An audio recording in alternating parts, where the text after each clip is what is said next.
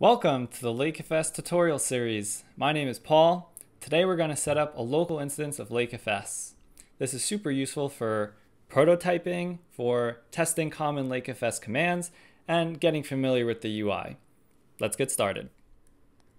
We'll start from the LakeFS website, which is lakefs.io. Nice, short, and simple.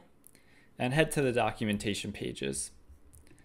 From here, we'll go to the quick start, um, install LakeFS, and on this page, we'll see a one-line command we can copy and paste into a terminal window.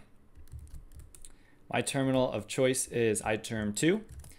It should be yours as well.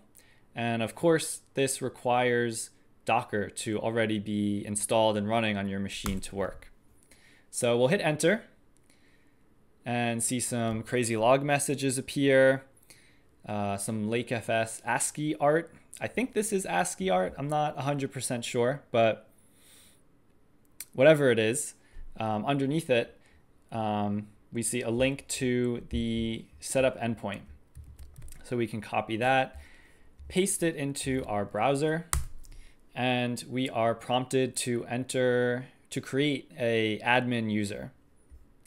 Um, we'll go with admin, which is a reasonable default. Hit setup.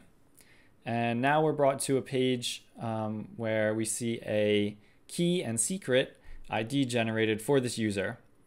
Uh, these will be needed on the next screen to log in, so uh, we should save them with the green download configuration button and open.